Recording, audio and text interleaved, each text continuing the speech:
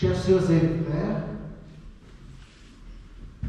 après avoir été baptisé, par Jean le précurseur dans la plume du Jourdain, Jésus fut conduit au désert par l'Esprit pour être tenté par le diable. D'ailleurs, on peut se demander comment est-il possible que l'Esprit conduire le Fils de Dieu en tentation En vérité, Dieu ne tente jamais l'homme. Saint Jacques nous illumine sur ce point. Dieu, en effet, ne peut être tenté de faire le mal, et lui-même ne tente personne. Chacun est tenté par la propre convoitise qui l'entraîne et le séduit. Jésus, en devenant homme, s'est identifié avec l'homme pécheur. Celui qui n'a pas connu le péché, dit Saint Paul, Dieu l'a pour nous identifié au péché, afin qu'en lui nous devenions justes de la justice même de Dieu. Depuis que l'homme est tenté par la propre convoitise, Jésus, dans sa solidarité avec nous, mais sans participer dans notre péché, est né dans la chair. Il s'est fait baptiser parmi les pécheurs. Et maintenant, il est tenté comme tous les autres. Cependant, l'évangéliste insiste sur le fait que Jésus est conduit au désert par l'Esprit pour nous enseigner que nonobstant nos faiblesses et nos chutes, il est toujours présent dans nos, épreuves.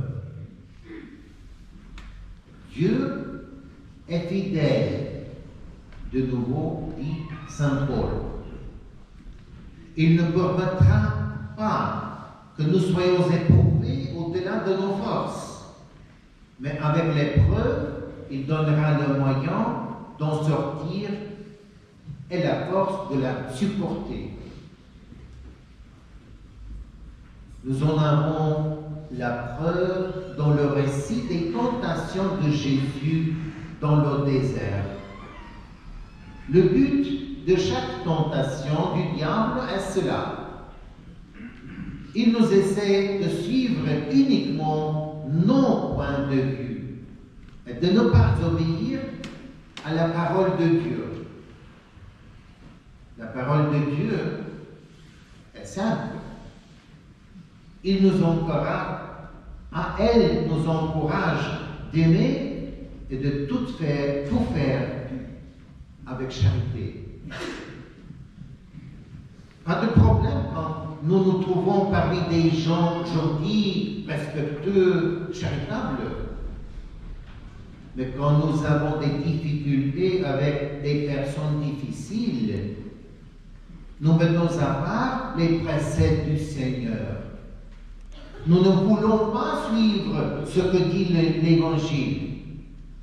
Mais en revanche, nous suivons nos pensées. Et c'est exactement ce que le diable nous suggère. Chers amis, comment Jésus a-t-il vaincu la lutte entre les tentations? Il s'est fondé sur la parole de Dieu il a eu confiance en la bonté, la justice et l'amour de son Père. Il ne le doutait jamais.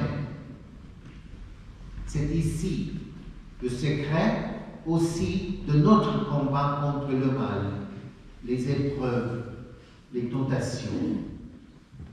Nous devons avoir confiance dans ce que Jésus nous enseigne à travers sa parole et nous montre à travers son exemple.